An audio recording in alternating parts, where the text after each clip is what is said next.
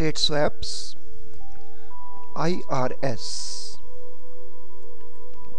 interest rate swap is a financial contract a financial agreement between two parties.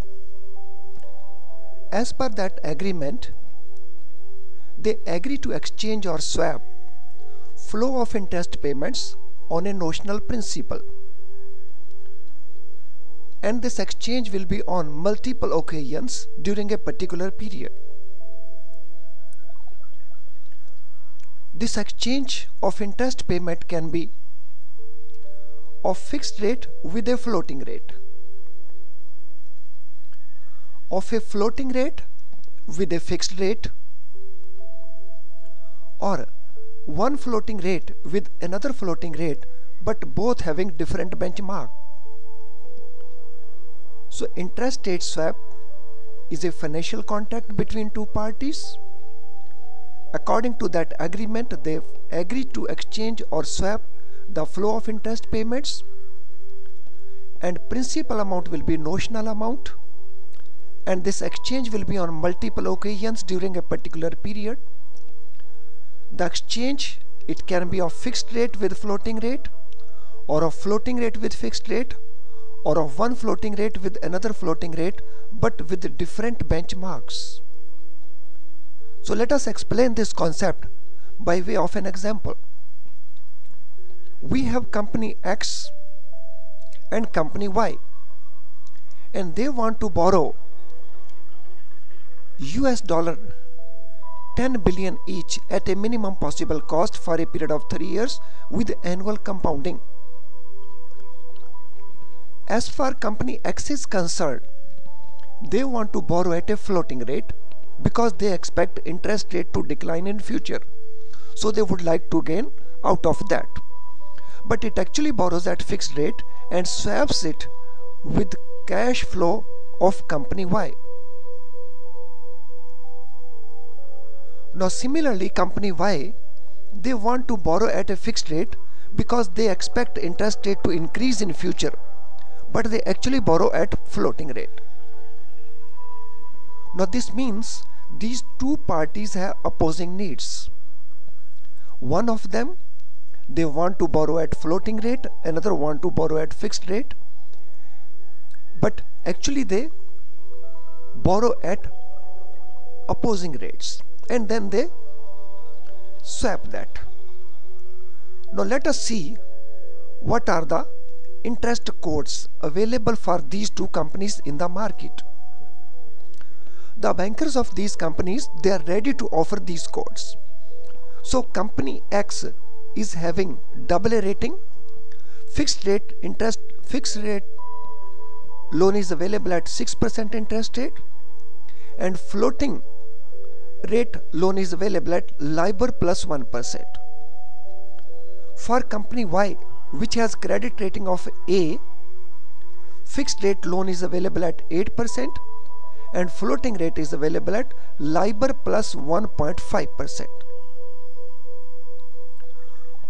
From this, we can easily say that company X it has absolute advantage over company Y of 2% for fixed rate lending and 0.5% for floating rate lending.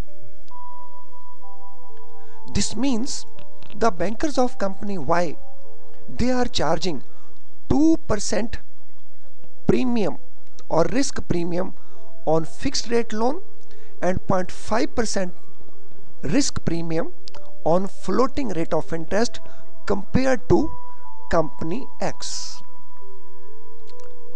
So we can also say there is absolute gap of risk premium of 1.5% when we compare both the rates. Now if risk premium is compared, company Y has an advantage if it borrows at floating rate because the gap in fixed rate is of 2% and gap in floating rate is 0.5% so there is advantage of 1.5% if company Y borrows at a floating rate. If risk premium at both the rates would have been same, company B would not have been having any comparative advantage. So this comparative advantage is available to company B because there is a difference in the risk premium. Now this risk premium difference is an opportunity for company B to arbitrage. Now both the companies can borrow independently and then they can swap that interest and whatever arbitrage opportunity is there that is to make profit out of this they can share that according to their negotiation. So here the arbitrage profit opportunity is available of 1.5% now they can decide what should be the sharing ratio. For the purpose of our example so we assume that they agree to share this advantage to the extent of 0.75% or 75 basis points each. If both the parties were having same credit rating, the arbitrage opportunity would have been not been available.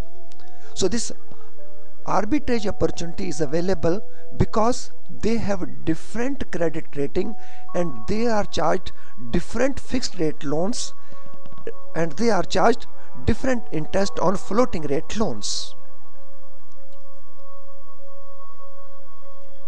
Now how this swap deal will be structured? Here company X they borrow at 6% and company Y they borrow at LIBOR plus 1.5%. So that loan is available to them from their lenders. Company X it agrees to receive 6.25% from company Y and company Y agrees to receive LIBOR plus 0.5% from company X. So that is structure of the swap deal. Now how much gain is going to be there on this swap deal let us see what is going to be going to be the gain on the swap deal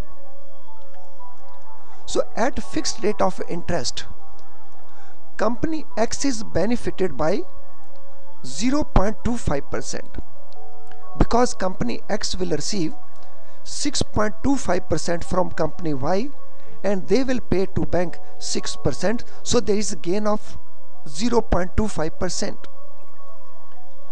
Similarly, at fixed rate, company Y is gaining by 1.75%. How?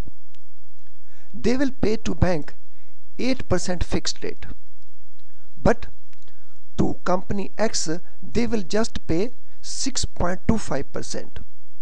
So their gain is 1.75%.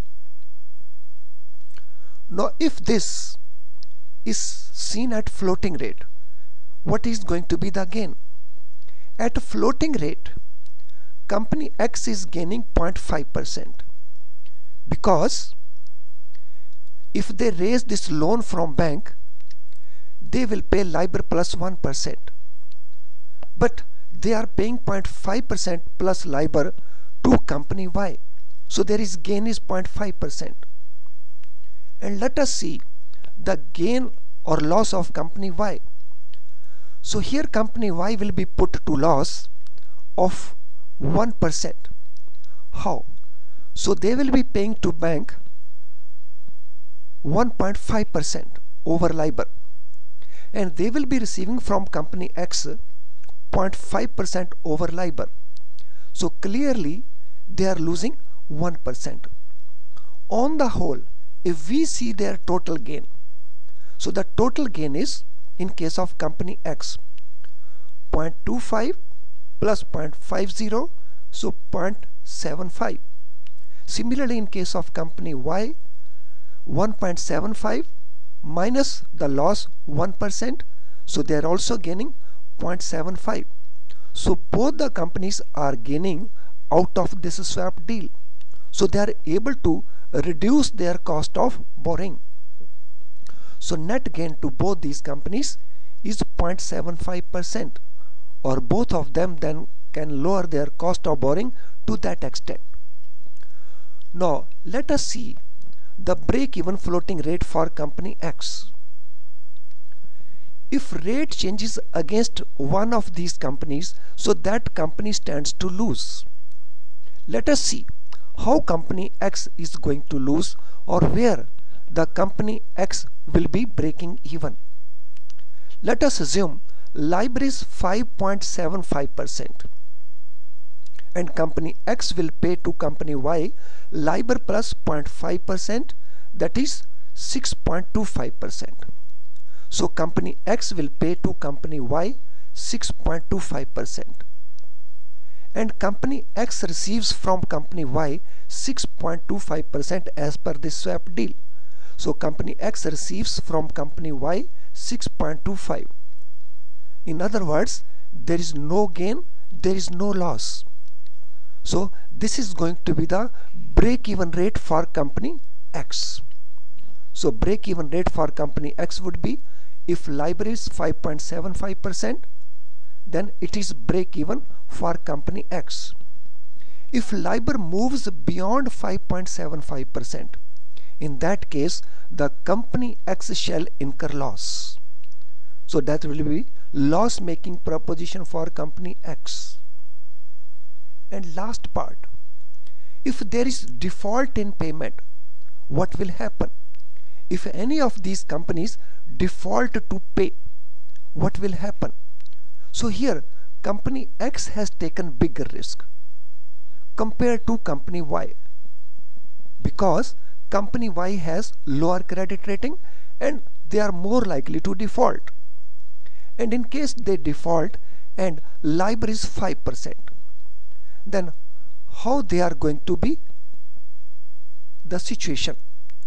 So company X will pay $55,000 at 5% and company Y will pay 62,500 so company X pays to company Y $55,000 and company X receives from company Y $62,500 and in this process there is net gain of $7,500 so net gain is $7,500 now let us assume that company Y defaults to pay this amount to company X. In that case what will happen?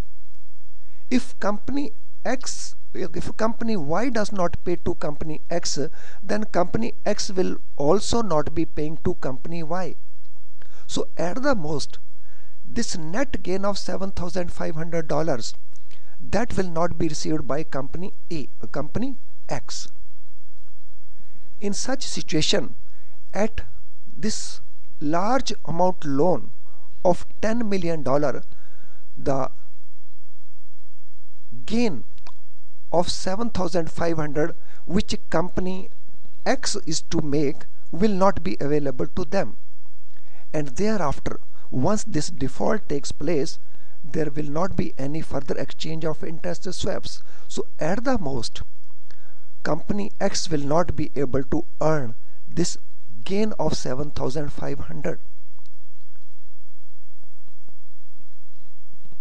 thank you friends for watching this video I hope you will find this video informative and useful Thank you once again.